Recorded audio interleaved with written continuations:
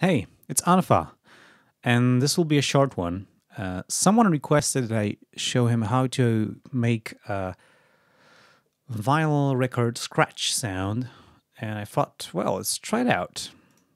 So I have ZynAddSubFX 3.0 opened. This is Zyn-Fusion, the new interface. And I have my MIDI keyboard connected. This is the same synthesizer, the same ZynAddSubFX, but it has a different interface because everything now is routed through OSC, Open Sound Control, so it can be uh, driven with any interface you want. I guess one could even create a web interface for ZynAddSubFX if he wants. So let's think. Huh. We want to make sound like a scratched vinyl. So we need some broadband signal because scratched vinyl is basically the sound of at least the noise of the record or sometimes just noise or some music that is changing the speed. So you're changing the speed of the playback and all the pitch of the material goes up and down. So we need to change pitch and we need a broadband signal. So let's try a saw wave for our bass sound. So this is VCE1. I'm going to use VCE2. This is the voice 2. Uh, now I probably have two of them. So I'm going to in the voice, yeah. The First voice, let's make it silent. Can you hear it? I'm going to make the whole thing louder. Ah, uh, better? Better now? Better? Better now? All right, should be good.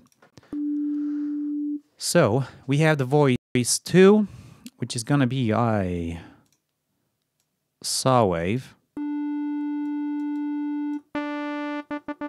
Here's a saw wave. And now we need to make this wider in spectrum, but probably, like, hopefully more noise-like, because this is too much of a regular normal sound. So let's use modulation. I'm going to use phase modulation and use the voice 1, which is this one. And the cool thing now is I can change the voice 1 to noise.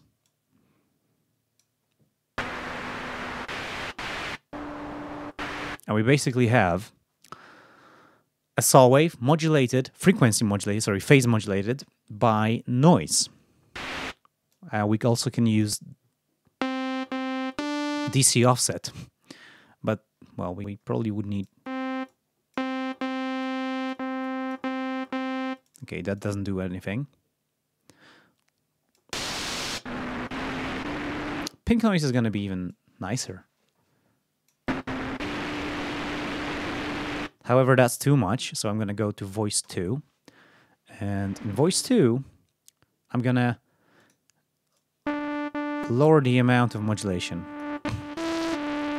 Also, I want to disable the velocity sensing. So for quiet notes and loud, we have the same amount of phase modulation. Alrighty, that could do.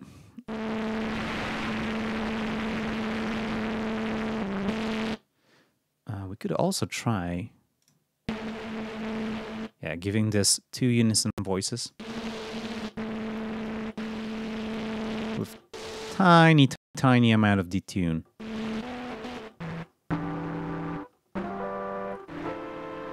it's actually a, a fun little patch for playing synth chords. Alrighty, so what do we need now? We need to change the pitch of this stuff up and down. Let's see. We have voice, frequency, we could use an LFO. Let's try it.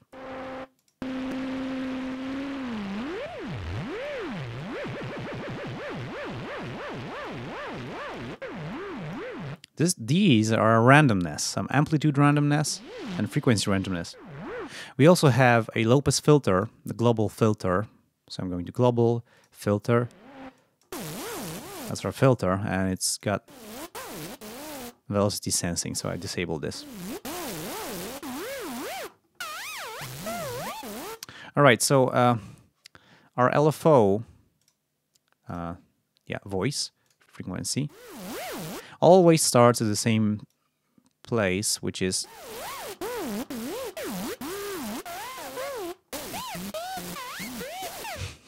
well, silly. Um, all right, kind of, sorta, but we need to make this monophonic. So I'm gonna go legato, maybe.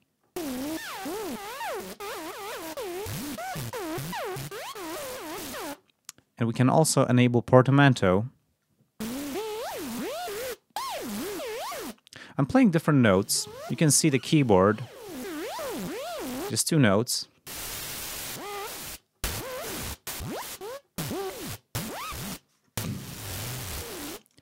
We can lower the portamento time.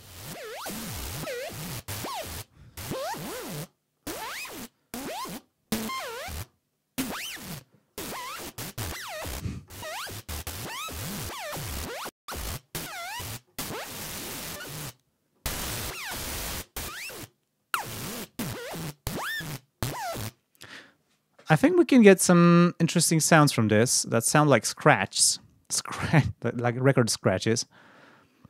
Mm, I, I wonder what else we could do uh, to make this more more real. Maybe let's try a little bit of distortion. So I'm going to insert an effect for part one distortion. Let's not use any time-based effects because that's gonna break the illusion of us playing with a record.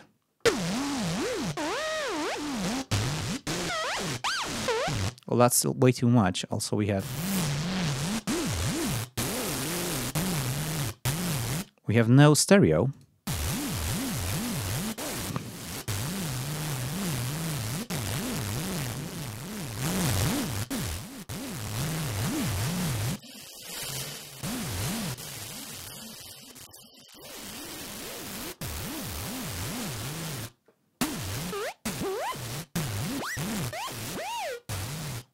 Well, that's still too much. We could maybe uh, make our uh, LFO more aggressive or have ourselves another pitch LFO because we can have one for the voice, which is this one, and we can also have the global one, which is here. Now we have two pitch LFOs, one on top of another. Give them LF. Let's give this one uh, also randomness. Well, it's too fast. And I guess we need longer portamento time.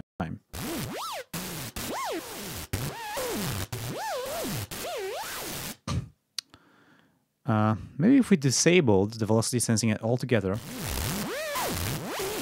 yeah, that's gonna give us a better result because I'm unable to press, you know, two notes with the same velocity and that creates a disconnection in the sound because the velocity changes when I press another key and that all influences how the distortion works. So the all the sound is different and when I disable velocity sensing for the whole instrument right here in the part settings then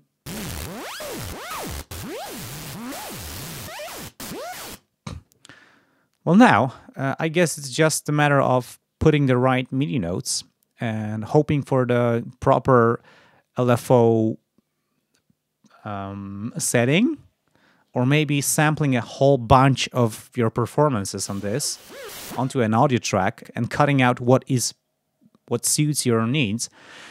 Or instead of using DLFOs, use automation and have total control over the pitch. So I'm going to disable LFOs. Let's go here and voice LFO also. No, oh, I don't need this. I just have to just do this.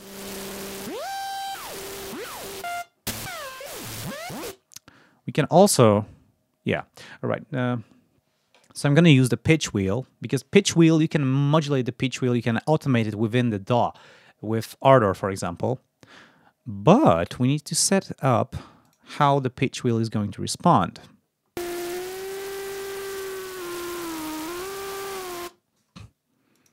I want to make this for the... Hello, where is it? Oh. I wish I could see that pitch wheel motion here. Looks like I can't.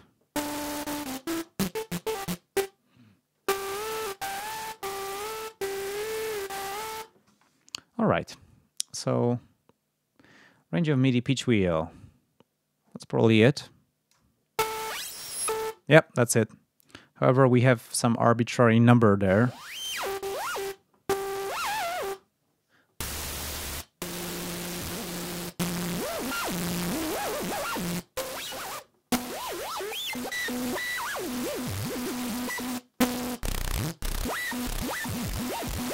So I'm now playing with a key and the pitch wheel. But you can use automation to precisely do something that sounds like a scratch. It's hard to perform that. You see, I got better results with automation if I wanted to perform this live because the automation created this sine-like slope that emulates the inertia of the turntable because the turntable is very heavy. If you ever played with a real vinyl player, music player, portable, not portable, it, the turntable is heavy. If you try to push it and pull it, it it's got inertia. It's it's like you're trying to stop it and it's go, going there further, and, and you're trying to reverse it and it's going oh slowly.